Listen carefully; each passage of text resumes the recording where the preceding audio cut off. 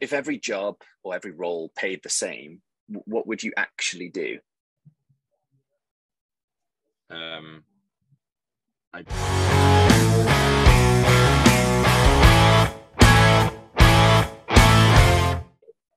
Yeah, go for it.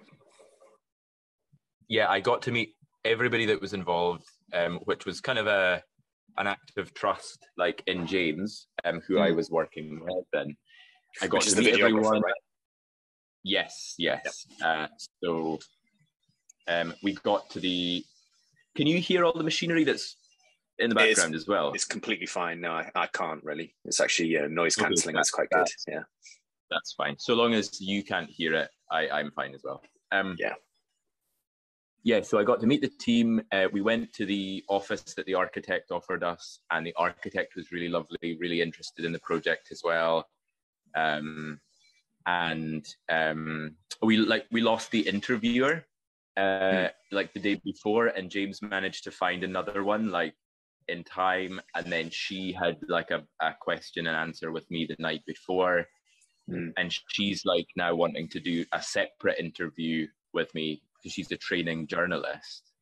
Mm. Um, and the and the message seemed to be clear to everyone. Everyone got it and was Good. really on board with like make like getting the message across through this interview and so the next stage is i think to get everyone to orkney for a kind of observation stage where we we observe what it is i'm talking about hmm. um, and we interview people with knowledge and expertise on on this whole issue mm. um, and I'm like I'm not I'm not going to worry about the financial like barriers at the moment because mm. I think so long as we get the story together that we've just done uh, in London, um, and I I continue to communicate with people, it's gonna I'm gonna be able to um, and I'll it will happen in some way. I'll be able to get everyone up to to start um, on the next stage, which is the is actually like being it has to be in Orkney. Um, it's mm, a, it comes from my connection to Orkney. So the next stage can't be in the sort of more generic setting, um, centered around me. It has to be about what it is I'm responding to, which mm. has to be in location. Yeah. So, and what was it like doing the interview? So, when you're being asked these questions, were you able to kind of obviously the the formulation of the idea is probably a little bit more it gets more certain the more you talk about it right? There's more clarity with exactly yeah. you know what this whole thing is.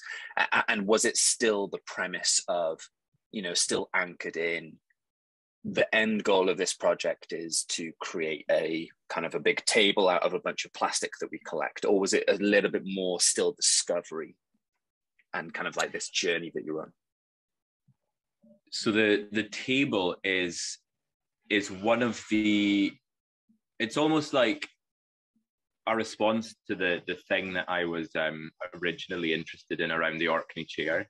Yeah. Um, and essentially, the message that we were getting to on Thursday night when we were filming was can plastic waste be as valuable to modern society,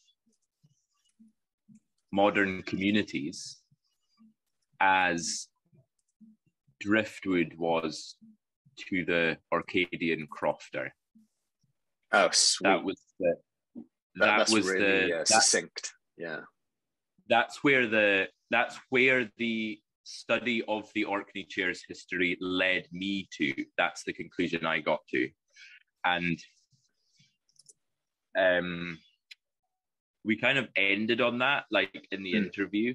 Um, and also going further to say, like, can this story encourage us to take responsibility for the way in which we interact with with the stuff that we produce and hmm. consume mm. and the waste that we produce and can we then like you know consider it a, a mineable resource like cons- reconsidering plastic waste as a mineable resource um, and an opportunity rather than a than a problem, an environmental issue. Um, and then the the banquet table, which while mm. I was there, I ended up having lots of really good conversations with with the the rural development officer in Orkney separately about this separate project. Yeah. Um, around the banquet table, um, and this project, that that project, this project, that project. There's then like another one, but that's all kind of slowed down a bit with the the university mm. and the 3D printing. Yeah. Um, the table is almost like a way of me enacting this uh, culture change, this this like reimagining of our, our relationship with plastic waste. It's mm. it's like a way of demonstrating this uh, this idea that I've sort of been taken this uh, the uh, I don't know what I'm saying now.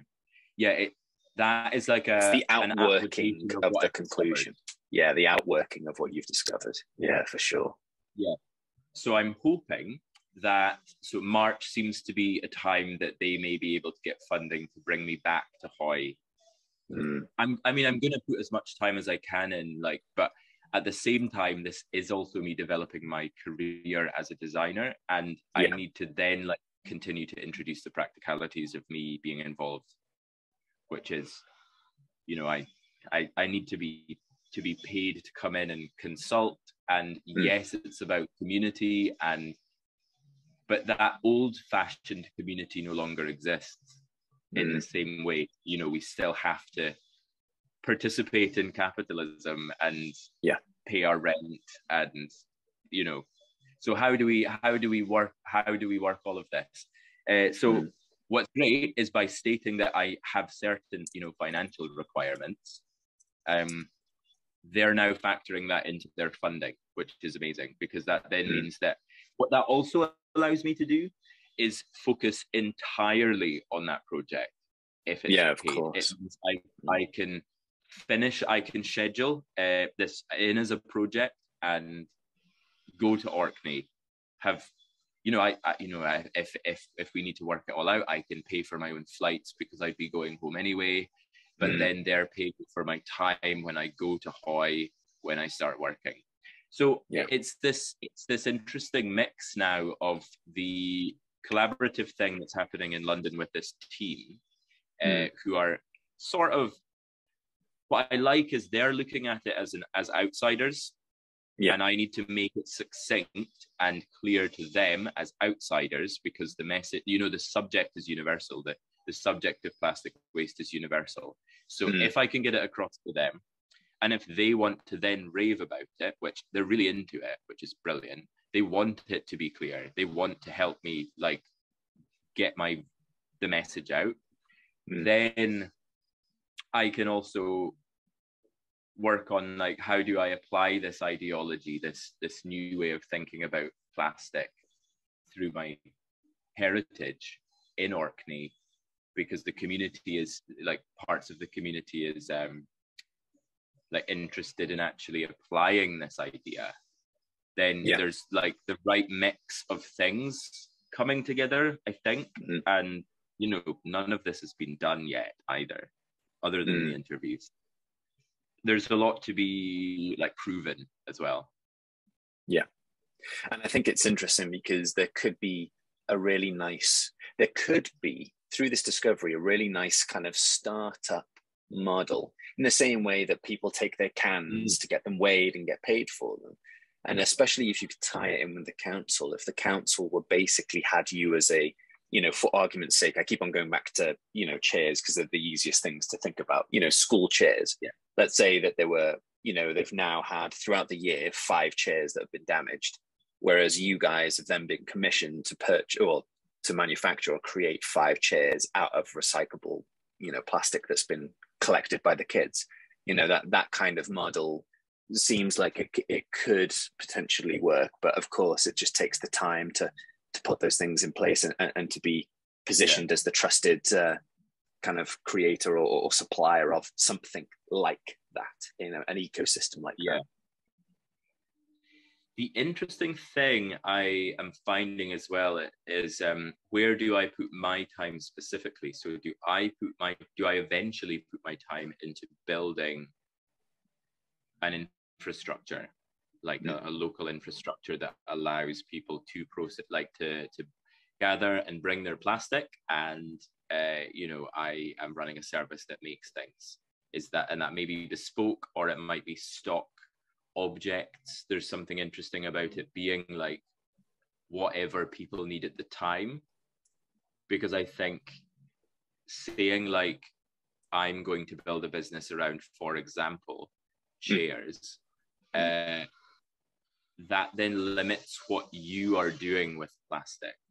Yeah. Um, and the world doesn't necessarily need more chairs, but if the infrastructure is there, there's the possibility to be at least processing plastic into a usable material that can go through like other like extrusion processes injection molding or 3d printing yeah. or whatever is needed but how and also hopefully yeah hopefully brought back into the system so for example whatever that output yeah. is once it's had its you know shelf life let's say let's say again let's use the, uh, the kind of example of chair because it's just easier for the conversation if it was a chair and that chair ends up breaking you know, do you then take it back, melt it down, reprint the chair?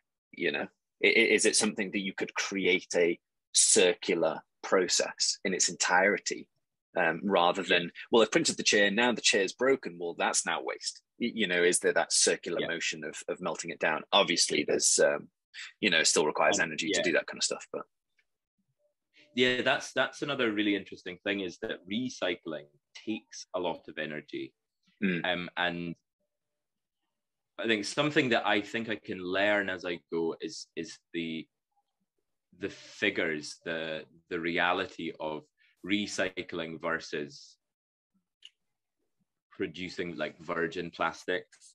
Mm-hmm. And then the you know, it'd be amazing to get to a stage where I had enough like information that showed the uh, the difference between like continuously producing and disposing of like virgin plastics and um stop like theoretically stopping virgin plastic production and just recycling you know yeah. this new mineable resource which we've created for ourselves mm. um but one of the one of the things is do i keep myself as a consultant that comes in on other people's projects and i rather than me spending the next like 15 years developing a business around one specific thing mm. um, because i want my, like and from a lifestyle choice pers- from a lifestyle perspective i want to remain free to explore design uh, engage with people I, I don't want to find myself behind a desk um, this is the really interesting thing about going through something that is such an interesting idea at the start to then find out how invested do I become in the practicalities of it? Or can I position myself to be um oh what I was gonna say I had a word for what I could be uh, in this situation. like can i can i empower other people through uh, like my research the projects i've been involved in the stories i'm telling can i hmm. be involved in that way um, at a certain stage of people's business because another thing is i can't fix the issue i'm i'm talking about on my own and i'm not interested in doing that um, yeah. and i think the, the liberating thing is that i can just do the thing i'm good at and I'm terrible at business. I hate money. I hate money. Mm. I don't mm. want to sit and think about it. I don't want to build a business model around how much money I can make, like on each chair. I don't want to think for a second about margins.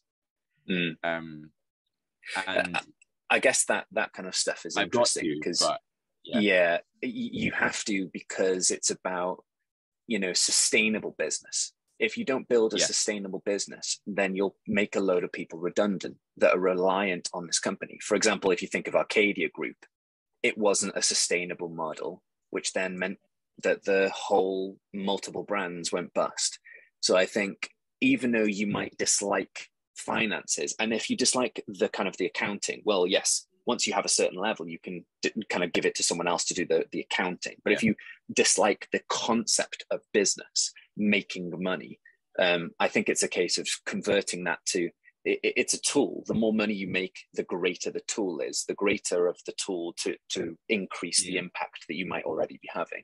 So I think it's also trying to work out, you know, if you don't want to work a business, that's fine. The consultant role is there, uh, and I think that that that sometimes is um, what it has to be because, as you said, it's bigger than yourself, and it's a, a community-driven thing, and it needs to last beyond your years, right? So how does it do that? The idea needs to be, you know, put within a community so they take hold and they're inspired uh, by that, and it's probably because you have the right conversations and inspire someone to do it and basically egging them on and, and encouraging them on the side. So yeah if you're not interested in doing a business uh, with it right now which is completely fine and being a more of a consultant thing then ultimately have you got your manufacturing or your design side paying your bills? So you can do this kind of like freelancey if not free type conversations you know because that's what i've kind of uh, jumped into. Rather than you know saying hey i want to be this coach and therefore I will only be a coach if people pay me. Well, it's not going to really lift off the ground as much, right? Rather than kind of then the opposite is, well, I'll run a digital agency, and then with my free time, it means the bills are being paid for, and then I can do coaching on top. So it's not held to to kind of ransom Yeah. the thing that I really want to do. And it sounds like the thing you really want to do is the strategic ideas, you know, top level and, and inspiration rather than in the grit of actually you know, well, here we are molding stuff today and we're melting this stuff down tomorrow and, and all that stuff. Would that be Mm. kind of correct? Yeah. Well, I guess another another useful thing for me is that the processes of processing plastic have all been done. Yeah. Um, and I think like that's all accessible. Um, it's all Mm. there to import. You know, say if if if the I think the way we're going with the the Hoy community is um, that we would bring in the equipment needed to for them to process their Yes. own plastic.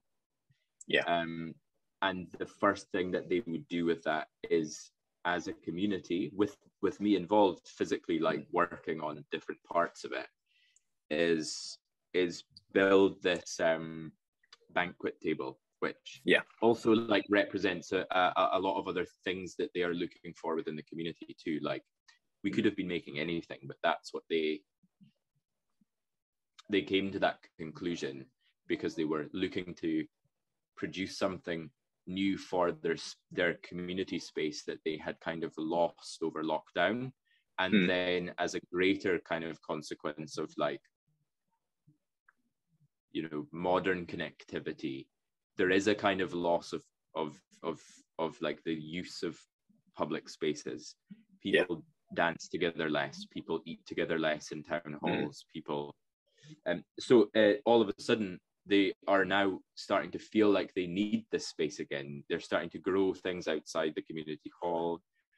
They then want to cook together. You then therefore eat together. And you then have ceilidhs in this Mm. space as well Yeah. you can have weddings um, Mm. and so this object is then just a small part of of of what it means to be a community but it's also a product of the community's needs and Yeah, which I love.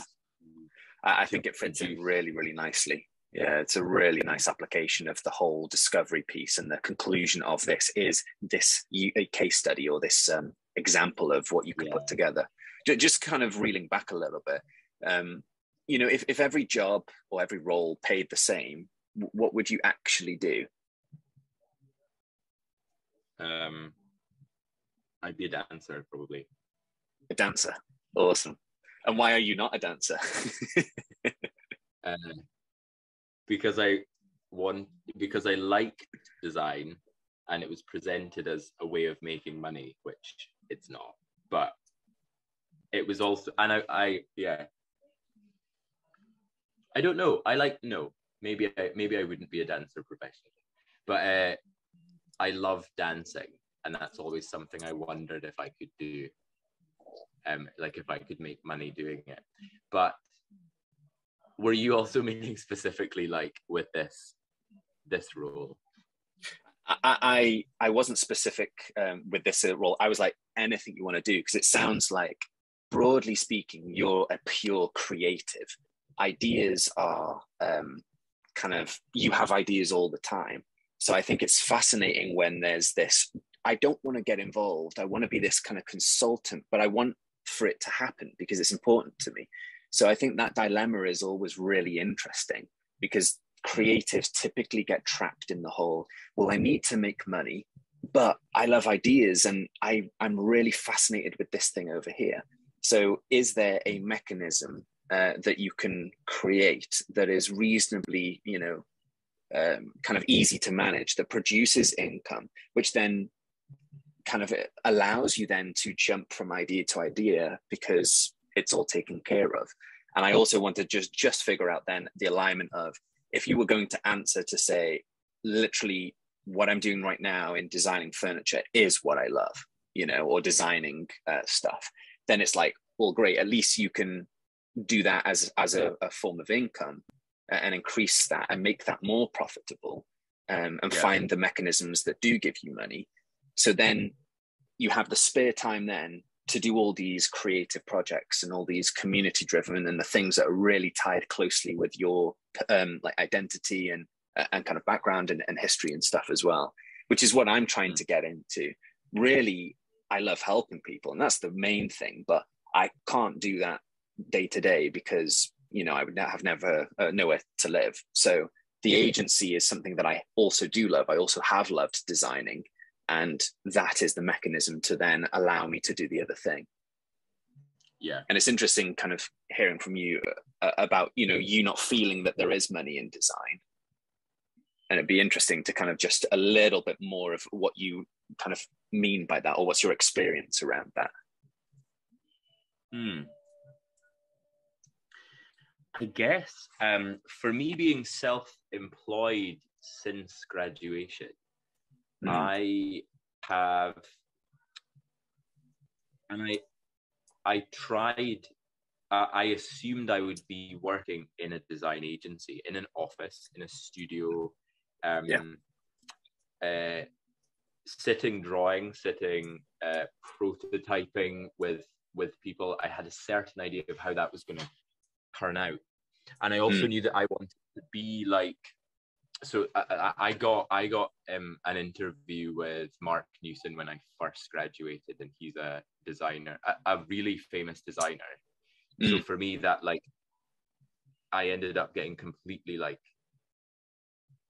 enamored and starstruck by because I I there there's a there's an so so with with um like money also comes that the idea of success what does success look like and for me as a designer what does success look like as a designer mm. and for me it looked like uh, being the face uh, being the one that runs the company has mm. a hmm. team of people you're not doing everything you're doing what you yeah. do best yeah um and unfortunately with that then comes the lure of of uh, you know typical fame being interviewed you know all the, mm. the things that are actually only a product of you doing what you do well um they're not the end result so i've actually had to spend quite a lot of time over the last 10 years unlearning what i thought success looked like actually mm. um because i i idolized these people who i wanted to work for to begin with and yeah then who I wanted to be. And mm. I also spent too much time focusing and comparing, focusing on them and comparing myself to them mm. rather than just like thinking about what my particular story is, which then sort of you then discover what your contribution is. and it's not yeah. going to look like anyone else's. It might not ever look like the same amount of money or the mm. same amount of prestige or exposure, and um, the same kind of clients. Um, mm. So I am now almost like trying to unpick a lot of what I, I'm doing by kind of learning how to do what interests me the most, which is is is is working with people. It is about community. It is about the yeah. conversations, the dialogues, mm. um, as well. And what I've discovered as well is I, of course, I want to make beautiful things, and I I want to. I love those processes. Um, but for me as a cabinet maker, those processes are exhausting. I, I, yeah, I don't want to keep doing this like process where I'm working all this stuff out. Everything is different every time, and I'm only doing it for the money. You know, this this bunk bed here. Yeah, is is what is an example. Um, mm. it, I hope it's something that they love. Uh, mm. It's been designed for them. I've built it. I'm considering it. I'm putting lots of time into it. They're paying me uh, a, a decent amount of money it's keeping mm. things going like projects like that but at the same time i'm not like the designer i want to be when i'm doing these things and that's where this new direction has started to offer like a, a way of of of of kind of giving me something that actually means quite a lot more to me mm. i think yeah, that, that's super interesting. It's really cool to see you verbalizing some of the the kind of the thought processes and stuff. And it sometimes it's difficult not to get caught up in the, you know, work your way up so you can get that fame, and and trying to focus on, you know, where do you have where do you have the most um, kind of impact, right? It's uh, mainly life is about two things: about character, building good character, and increasing in impact. And that impact is um, it doesn't mean you know millions of dollars it, it, might mean you know that you've helped one person you know it might mean that you've helped 10 people it might you know it's the the impact stuff and yeah i completely see the sometimes the the financial stuff is allowing you and unlocking you to to do greater impact but it's really interesting how you're wanting to to kind of pivot and it's always a challenge especially when you know you still need to tie a small amount of just ticking over um, to things as well. It's challenging, isn't it? And to enjoy the process as well, rather than going, yeah. you know, I'm not the designer I wanted to be when I was 30. I'm the designer I am at 30. I I've gone through a whole load of processes I could never have foreseen that has led me to this stage that has like I've, I've gone through all these processes that have caused me to you know consider my own heritage in a way that mm. informs mm. me um all of a sudden there is a really fascinating story and it doesn't matter how long it takes to get there um you know i don't have a mortgage i don't have kids i don't have all the things that you know i thought i would have but it's much more real um, and more fulfilling, I would assume, because it's kind of you're, you're living, right? You're, you're really trying to get to the depths of what what makes you tick, what really feeds your kind of spirit and and really excites yeah. you, and it ultimately is yeah. the the purity of connecting with people and, and working with people, which is a really good conclusion. A lot of people don't conclude that you know a lot of people don't figure out what makes them tick and they just do stuff because they've been told to do stuff or this is the route so you should just do this route you know and, and living someone else's story and all that stuff. So i think yeah ultimately i hope that you haven't put too much pressure on yourself that oh, i'm not where i am at, at because this discovery is super valuable. And 30 is still young right i'm 31 like 30 is still incredibly young really if you really think about it yeah you've still got another 30 years of work life kind of thing, you know, to kind of like figure out stuff. Yeah. And the more you can learn to love what you're doing, and the less that it is about essentially the accumulation of wealth over the mm. over your lifetime. Yeah. I think the more wealthy, like we, as I'm also 31, um, will the more wealthy we will be at the end of the process and the more there will be to continue to offer. Like i don't want to retire. I hate that idea of just like yeah. giving up. That's what that looks mm. like to me. And um, you've worked your ass off for someone else and now you get to play golf. No thank you. Yeah. I'd rather die actually. Mm. and i think it's about you know I, I really want to make sure that i'm empty when i die that i've given everything and for me, the mechanism of business is mm-hmm. increasing my impact. So, for example, a real example is um, my mum and dad happened to be in quite a lot of debt. And I actually was able to use my business profits to get them out of debt because I was earning so much.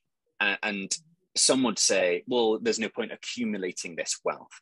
But I'm like, when the wealth is directed correctly, like that, that's why I believe it's important for Christians not to shy away from, you know, business and stuff because it's about well i'd rather that money be in these hands over here rather than in these hands over here that it's just profiting for profiting's sake so it's about the, yeah. the kind of the accountability tied to then the increase of that money which ultimately increases the type of impact in that yeah. in that remit so i think it's a case of yeah not shying away too much but just being grounded which it sounds like you already are grounded in the right kind of way and then it's just figuring out the route that um, that that allows you what's the route that allows you to have more of this stuff you know working with people more of these dialogues? What's the the mechanism and the tool? And it might be you know a permanent role somewhere because that's feeding this mechanism over here or it might be that you know i'm yeah, done building stuff happen. so it's the design yeah. stuff you know? Yeah. And that would be completely uh, yeah, fine. there's no failure to, in that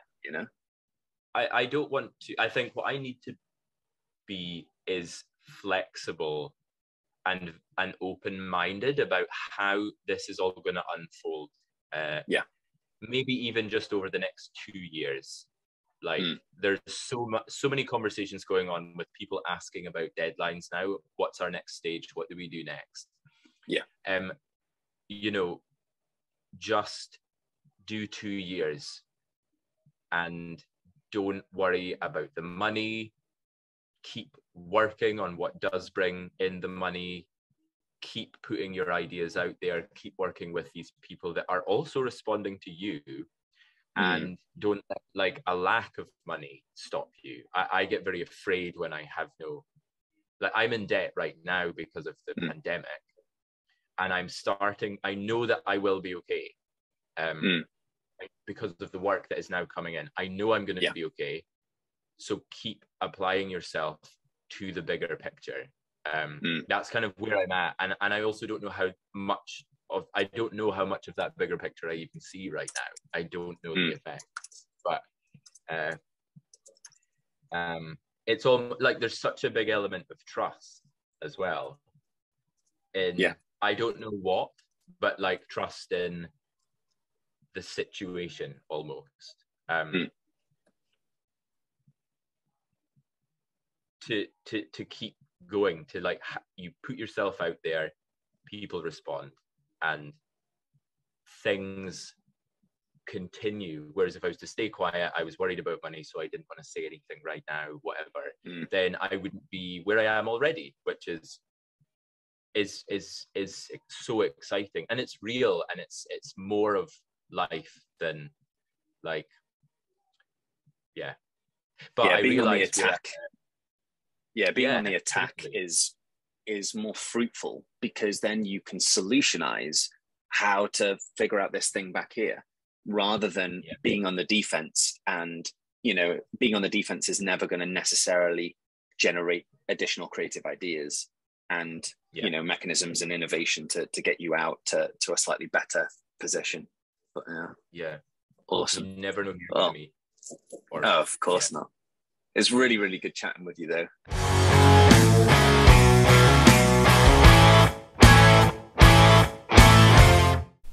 Thank you for listening to Dan Ryland's podcast today. Hopefully, you've took something away from this session. And please do tweet Dan or DM him via Twitter or Instagram or looked at his LinkedIn if you have any more questions about today or anything about your personal business that you might be struggling about that Dan might be able to help. Hope you have found this enjoyable and see you next time.